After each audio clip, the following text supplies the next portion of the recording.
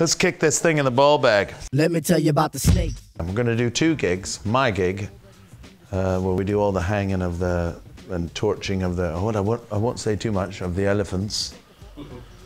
The magical theatre show. Uh, but the main one uh, is Shitbox, probably. That'll be good because I'll just bring on all the freaks, and the audience hopefully know that uh, the reason they're all there is because it's these are all alternative because that's the way comedy's going, I hope now. We're taking it back. But the alternative scene's quite mainstream now. It's all noticing stuff, boys in t shirts. You've been around Edinburgh. How many posters have you seen of a boy in a t shirt with some hair going? Like, I would like to go see that. That sounds really rude, doesn't it? And it is. Okay. Gok Wan! Gok Wan! Duck wine! Duck wine! Duck wine! Duck wine! Duck... Uh, duck one! Duck one! Duck wine! Duck one! Duck one! Duck one! Duck one! Duck one! Duck one! You're not gonna just say Gok Wan over and over again, is he? Gok Wan! Gok Wan! Gok Wan! Gok Wan! Gok Wan! Gok Wan!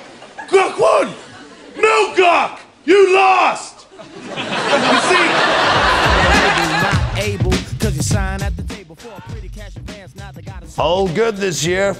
more soup with your meal. Normally, I would have a big long story for you. Oh yeah, one guy gave me a two, one guy gave me a... No, not this year. Fours and fives. Every time a four comes out, I get shit about it. Now I'm turning into a total prick.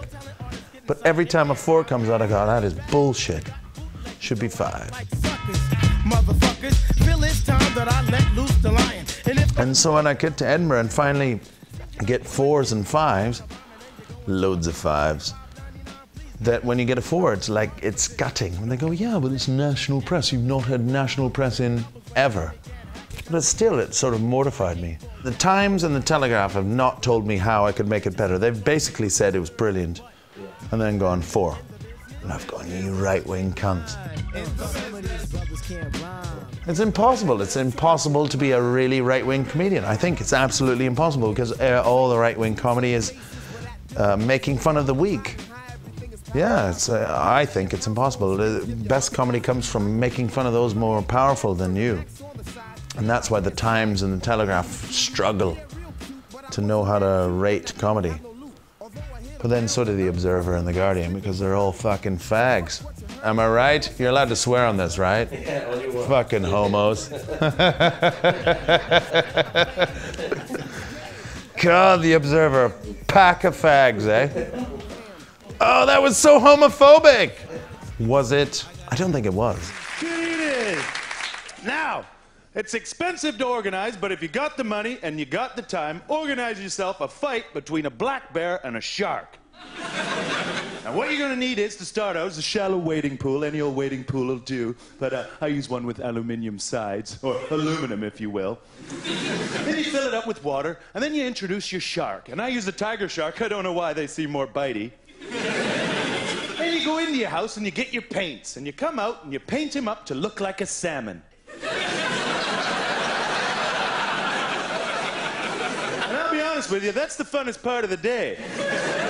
We should do more dangerous art together, shouldn't we? Hello, Galway. My name's Anthony Law, and I know Verkrate. But I wanna make jams, damn, I know I'll slam. Huh, well, it's not that easy. You gotta get a label that's willing and able to market and promote. And you better hope For what? that the product is dope. Um, Andrew Maxwell, could do him. I read books! That's the only thing I can do. He does, he reads a lot of books. He reads a shitload of books, and well done him. He's a working class man who reads books and then digests the information and spews it out in an incorrect way. But funny. He'll never watch this, but I hope he does. We'll have a laugh.